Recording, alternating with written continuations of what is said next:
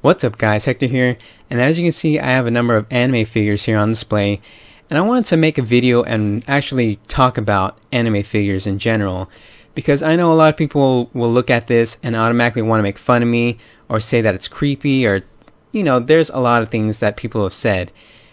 And I think those statements are really unfair, and they have kind of a double standard, and there's a number of people that collect anime figures, and some people automatically think that they're toys or for kids or for creepy adults that want to check out, you know, girls and stuff like that. Well, first off, I want to say these aren't technically toys. Well, I, I wouldn't say that they're toys at all. They're mo- mostly for display. They're not even made out of a cheap plastic. Well, I guess you can kind of say they're cheap plastic. It's PVC. So it's not really, really cheap plastic like most toys are made out of. And if you compare them to toys, you can see that these the the craftsmanship in these are it's really really good to put it lightly, I guess you can say. They're sculpted really intricately and the painting is nearly perfect. And that's actually a way most people can tell knockoffs between genuine articles. The real genuine stuff, the painting is perfect pretty much between each little piece of plastic from one side to the other. And then when you see a bootleg, you can see the paint's kind of sprayed over. And if you compare it to toys that children play with, you know, children's toys are really cheap. They can break apart and they just, at least in the United States, they just are kind of thrown together.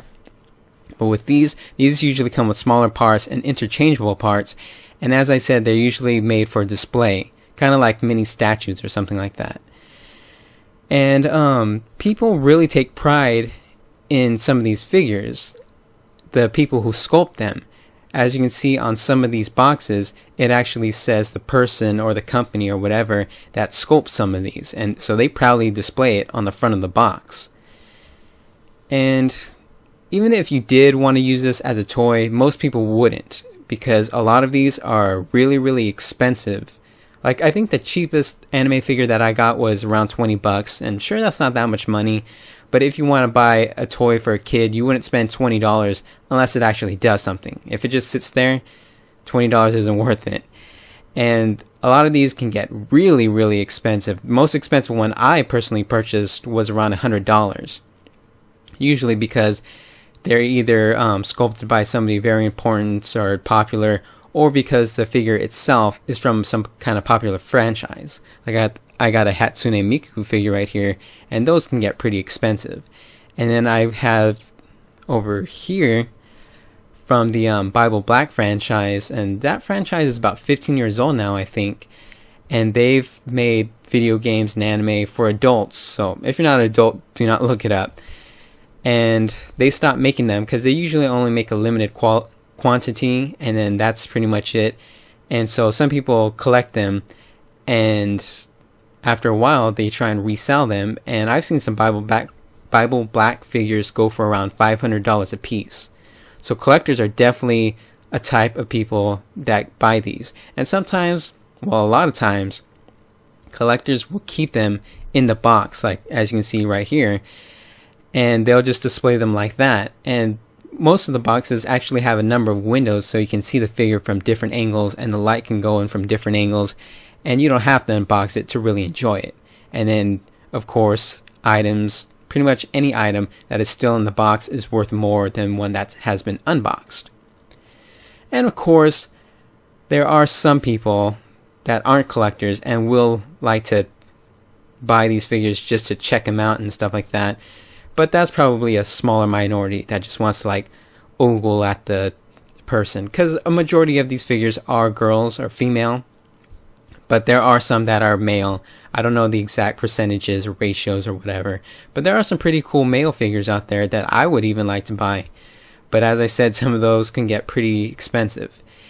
And then there's a third category of people that just like to buy them because they like the anime and they want to display it. Sort of like a person that wants to buy a poster you know you might like a TV show or a band or something, so you buy it, and you maybe not just because you like the anime, but because you like the character design itself.